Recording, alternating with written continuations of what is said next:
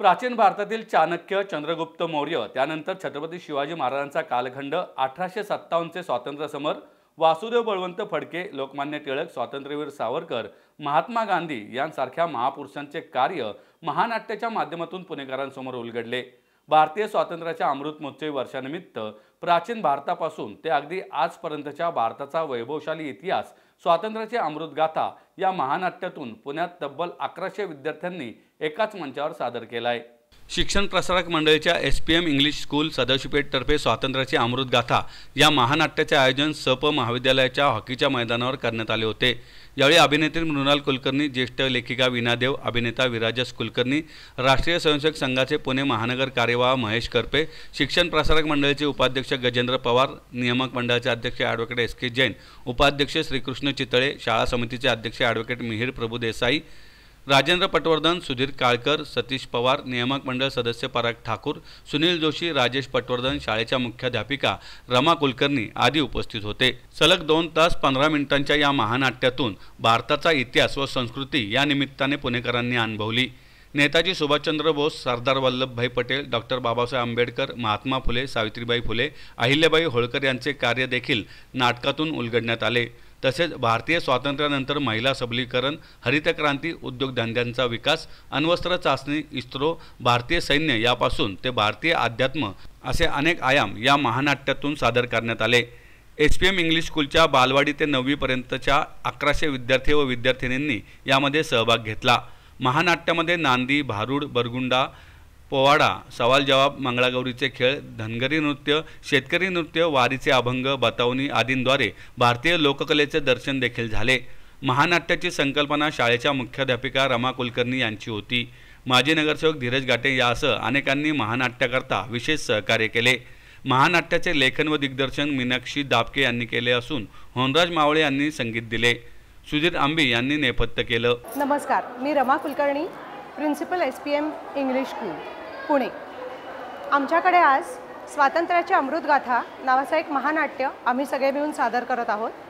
या महानाट्याचा उद्देश असा आहे की स्वातंत्र्याला आपल्या भारताच्या स्वातंत्र्याला पंच्याहत्तर वर्ष पूर्ण होत आहेत आणि त्याचबरोबर आता नॅशनल एज्युकेशन पॉलिसी ही उंबरठ्यावर येऊन ठेपली आहे. तर ह्या दोन्हीचा मिलाफ म्हणून मुलांना वेगळ्या पद्धतीने इतिहास शिकवणं आणि आपल्या भारतीय पार पारंपरिक खेळांचीही ओळख त्यातून करून देणं असा ह्या नाटकाचा उद्देश आहे. यामध्ये साधारण अकराशे मुलांनी सहभाग घेतला आहे जी तीन वर्षापासून तेरा वर्षापर्यंतची मुलं आहेत.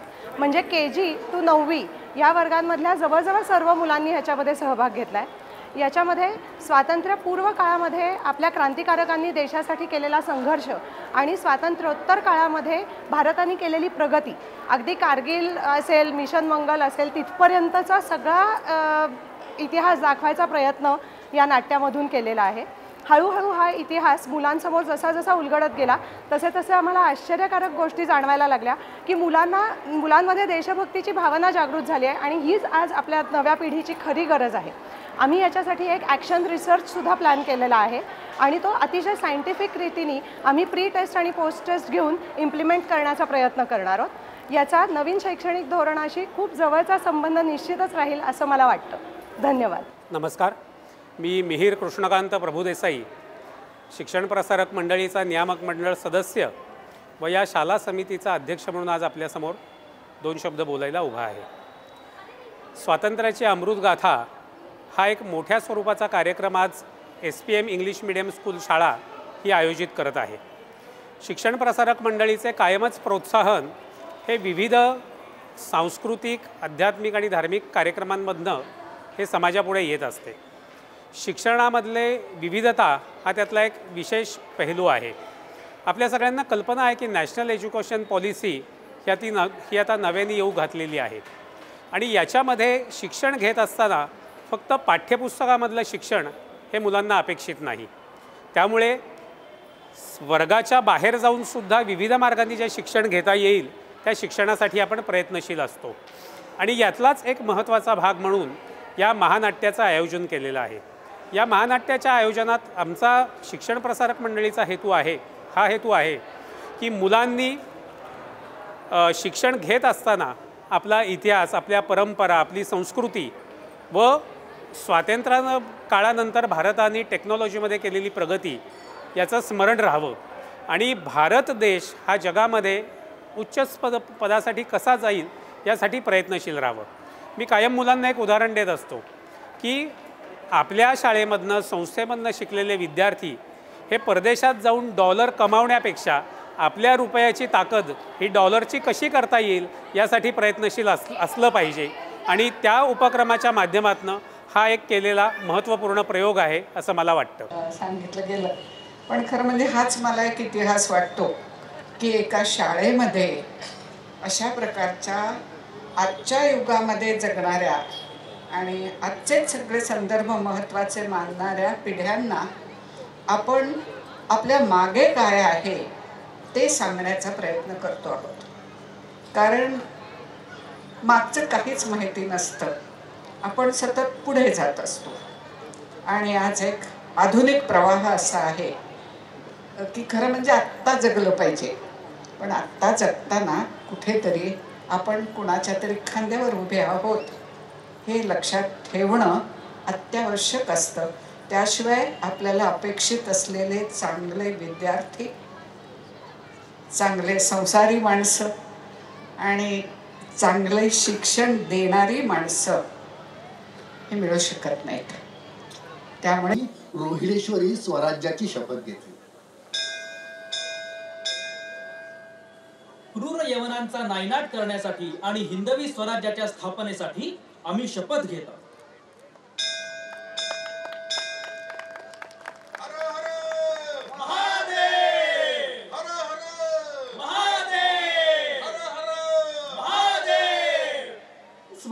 स्वराज्याची चंद्रकोर कले कलेने वाढू लागली. स्वराज्य मिळवणं वाढवणं आणि टिकवणं हा मार्ग काही सोपा नव्हे. असाच रांगडा वळणा वळणांचा खाच खळग्यांचा.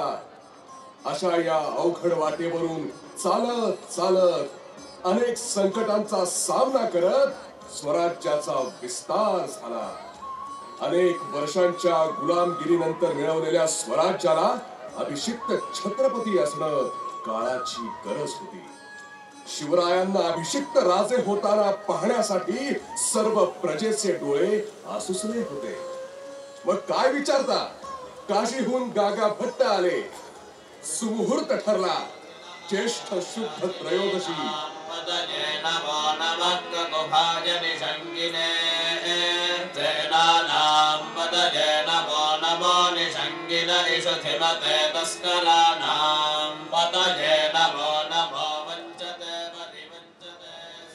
रायगड नववधू प्रमाणे सजला राज्याभिषेकाचा सोहळा पाहण्यासाठी विशाल अवकाशात वरुण राजाही येऊन थांबला सुवर्ण कलशात सप्त नद्यांचं जल आणलं गेलं मंदिरातले देव महापूजेने संतृप्त झाले विरक्तीचं संन्यासाचं लेण लिहिलेल्या समर्थ रामदासांनाही आनंद वनभुवनी भरून पावल्यासारखं वाटलं. घटिका पात्र भरलं आणि आणि अखेर तो सुवर्ण क्षण आला. सुवर्ण क्षण राज्याभिषेकाचा. शिवबा अभिषिक्त राजे झाले. तो सोहळा बघून दस्तूर खुद्द काळाचेही डोळे सुखाने भरून आले.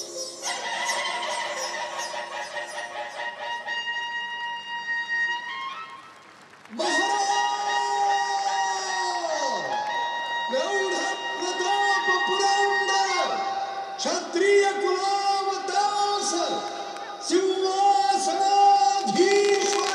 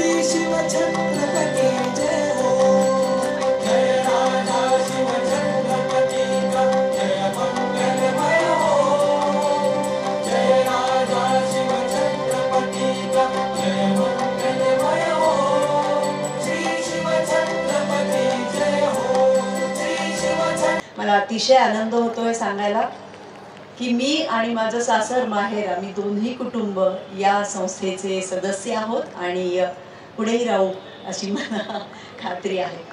आज खरोखरच तुमच्या एवढीच मी सुद्धा उत्सुक आहे आजचा कार्यक्रम बघायला कारण या कार्यक्रमाविषयी इतकं ऐकलंय. अकराशे मुलं एक महानाट्य सादर करणार हीच मला वाटते एक अभूतपूर्व अशी कल्पना आहे. आणि त्यासाठी रमा मॅडम प्राचार्या आणि मीनाक्षी मॅडम यांनी किती कष्ट घेतले असतील आणि त्यांच्या बरोबरीच्या सगळ्यांनी त्यांना किती उत्तम सहकार्य केलं असेल याची आपण केवळ कल्पनाच करू शकतो. पालकांचं अभिनंदन मी केलं पण एक गोष्ट मला त्यांच्या निदर्शनाला आणून द्यायची किंवा त्यांना एक छोटीशी प्रेमळ सूचना करायची. ती म्हणजे आपण शाळेत तर त्यांना उत्तम घातलं पण आपण त्यांना आपला वेळ देतो का? हे प्रत्येकाने लक्षात ठेवणं याची जाणीव असणं फार महत्वाचं आहे. शाळा त्यांच्यावर उत्तम संस्कार करेलच पण आपल्या घरातले जे उत्तम संस्कार किंवा आपण समाजातून जे काही शिकलो जे पाहिलं जे अनुभवलं त्याचे संस्कार आपण आपल्या मुलांवर करतो की नाही हे सदैव यासाठी आपण दक्ष राहिलं पाहिजे. मला फार आनंद होतो.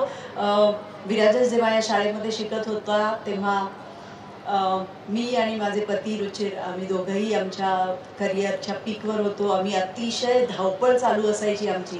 पण मनात खूप समाधान असायचं की विराजस उत्तम शाळेमध्ये शिकतोय त्याच्यावर उत्तम संस्कार होत आहेत पण त्याचबरोबर पालक म्हणून आम्ही आवर्जून एक गोष्ट केली की आपल्या मुलांनी काय चांगलं वाचलं पाहिजे काय चांगलं बघितलं पाहिजे कोणत्या चांगल्या माणसांना ऐकलं पाहिजे याबद्दल आम्ही सदैव जागरूक राहिलो. अर्थात मी ज्या घरातून आले जे संस्कार माझ्यावर झाले तेच विराजसपर्यंत पोहोचवण्याचा आम्ही प्रयत्न केला. आणि आज तुम्ही जे सजग असे पालक आहात ते सुद्धा असे प्रयत्न करत असाल याची मला खात्री आहे.